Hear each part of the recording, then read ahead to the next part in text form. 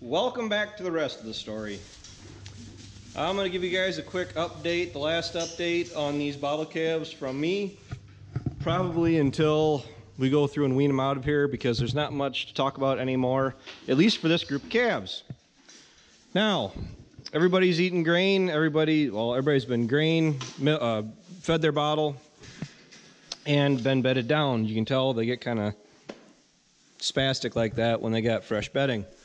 Um, they are going through, they eat it like, well, they're eating it for roughage is what they're doing. Uh, we're not really set up, or nor are we really set up for uh, giving them hay. Uh, my grandpa never gave them hay. Um, I never really gave bottle calves hay, um, especially when they can eat it. They're straw bedding for roughage too. Um, straw is something that we are going through fairly quick. Not so much that they're eating it, um, we went through a lot early on because it was so hot and humid and muggy out, is that it was making these guys so wet by the end of the day that we went through to feed them at night. We end up having to give them a little bit more bedding than what we would typically. Like right now, I think I used a bale and a half to bed everybody down, and there's 27 in here right now. This barn is set up for I think comfortably holding about 60. I had 68 in here at a time at the last time that I had this barn full full. But to do that, I had a special setup of uh, wire panels. I had, I think, eight right in the walkway here. Um, these guys are not veal calves, anybody that's wondering. Anybody that's new to the channel, these guys are going to be fat cattle, fat calves. Um, they are chained up right now, but they are on the tail end of that trip. And and um, they're going to be weaned off here really quick here, as in less than a month. Uh, we're going to go through. They haven't had any of their shots yet, other than the one shot they got when they got when they got brought in. Um, the vet's going to come down. He's going to put them to sleep. No, not to hurt him, not to be mean. Oh, yeah, maybe kind of a little bit. Well, I'd be kind of aggressive too if I woke up like that. But um, he's going to put him to sleep. He's just going to give him a shot. Uh, what we're going to do is we're going to go through dehorn him. We're going to castrate him. Probably knife cut him. It's cold enough out. We can get away with it. Knife cutting is preferred. Seems how it's a guaranteed way that you you got both of their testicles. Um, we're also going to go through and vaccinate them and give them their ear tags. Uh, the reason we don't do any of that before we, or right, when we first get them in the barn, well, you guys are actually looking at me, um, is because we don't want to add any more stress to these guys, and we absolutely have to when we get them. Um, for that exact reason, Holsteins do not handle stress very well uh, at all. I mean, beef cattle seem like they're, oh, they're pretty sturdy. Holsteins, uh, a good strong wind and they, they fall over. Uh, oh, I want to address this really quick. I was asked about our grain hangers here. Um, somebody that did notice in a previous video, I do have a bunch hanging up here. Ideally, I was heading towards, or was aiming towards having a hanger for each bottle calf. Uh, they're about 20 bucks a piece, and that does get pricey when you start buying a few at a time. Um, so gradually I'm adding to the barn if we keep doing bottle calves here. Uh, these guys are going to get weaned out. We'll get them out in the lot, out on grass, and get them going on grain and hay and everything else. They'll be all nice and happy. Um, the barn's going to sit empty and um, hopefully get going through its harvest here. Um, but the reason where these are actually uh, hung is strategically hung um, you can see that they're actually right above the bottle feeders. So what happens is, is when you feed the calves from the manger, the bottle comes out right here. And when they're done getting their milk, um, they want to keep sucking. So what they do is they reach up and they start sucking on this, and it shoves grain down their throat, gets them started on grain a little bit quicker than going through with a bottle. That is my opinion. Uh, the big drawback to it, I'm not really afraid to say it, um, is that when you get a calf growing for the first two months of its life, really not accustomed to eating out of a bucket or used to a bucket, uh, what happens is, is that when you wean them off, they can be awfully dumb.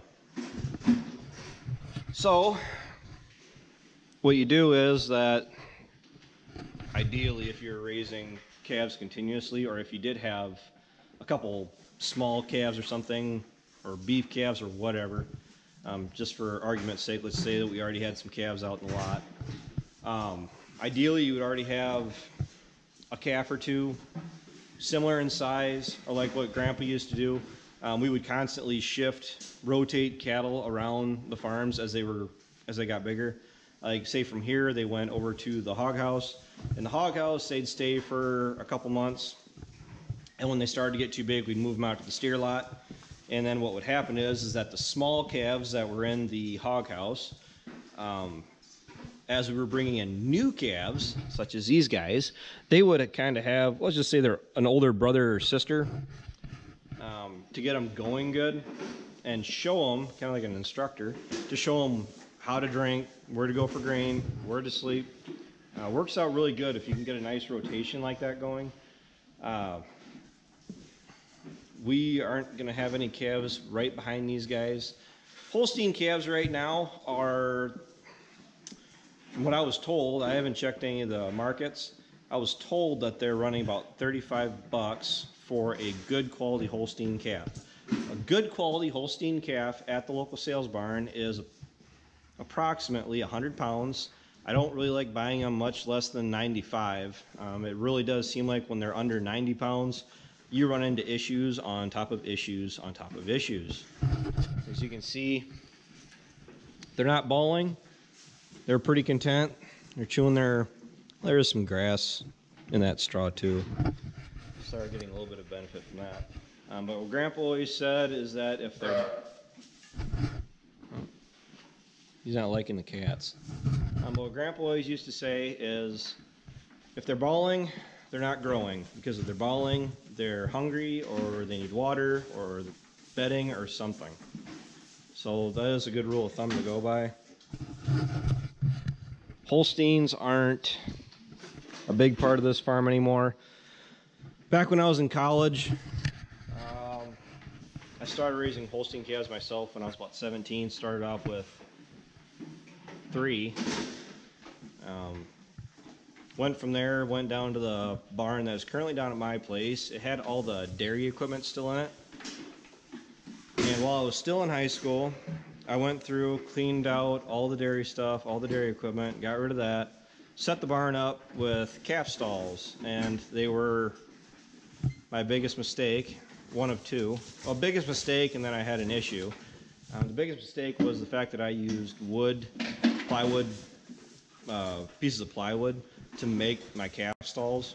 And the problem is, the wood being porous like it is, when you're bringing calves in from the sales barn, or at the time I was buying them from a local farmer, you're bringing in bugs, whatever else from a different farm. They like to hide away in those pores or whatever on the in the wood. And the problem is, I would go through and clean it out and bleach it, and it just didn't quite do the job. And the first group of calves I ran through there, I did 32. Great success. I didn't lose a single one. I mean, practically sleeping in the barn with them, you know, because when you're young, you don't have a whole lot of money to work with. So, um, was really determined to make sure everybody made it. And my issues started to come through with the second group of calves when they were young. They were their immune systems weren't as sturdy as they'd be if they were a couple weeks older. And I started to have health issues. A second issue I had, or the first issue, um, was the fact that that barn really didn't provide much for ventilation. I should have had probably like six fans in the windows of that barn just to keep the air running. Um, young, didn't really know the ins and outs of what it would take to raise bottle calves at the time. And I eventually got away from that barn. Did do calf hutches for a little bit, but decided to get away from calves altogether, and I started raising. Well, I focused more on my beef herd at the time. Um, we're back to this. Barn is set up 10 times better than the one down at home. I mean, I could probably give you a quick run through the barn, but there's not much to see. Everybody's really interested in it though. So, as far as bottle calves go, once these guys are out of here, this barn's gonna sit empty for a little bit. Depending on what calf prices do throughout the winter and where everybody stands, if we're gonna go ahead and raise some more bottle calves, then we probably will. I mean, it's a little bit more justifiable when they're even 50 bucks. Oh, 50 bucks or even under 100 bucks. When you start paying 150 to 200 bucks for a bottle calf and you start having health issues and you start losing one or two, it takes it takes some money to get them going, or it takes some money from the other calves that made it to recoup your losses. And these guys, they'll be gone about next spring. We're gonna by the time we have them out of here, which I'm gonna say probably three weeks, get them started good. Uh, we aim for eight weeks overall. Um, we'll put them out, get them going on grain and hay, and keep them happy, keep them dry, keep them warm throughout the winter. And I'm gonna paint a pretty large. I'll give myself a pretty large area and say anywhere from March to May. These guys will be out of here. out of here, we'll end up selling them as feeder calves because anything north of five, six hundred pounds, it does take a lot of grain to get them going, um, to get them up to finished weight. So, all right, guys, the cats are chasing me around, but I think it's time to call it a night. So, thanks for watching. Take care. Take it easy. Keep in touch, and I'll talk to you guys later.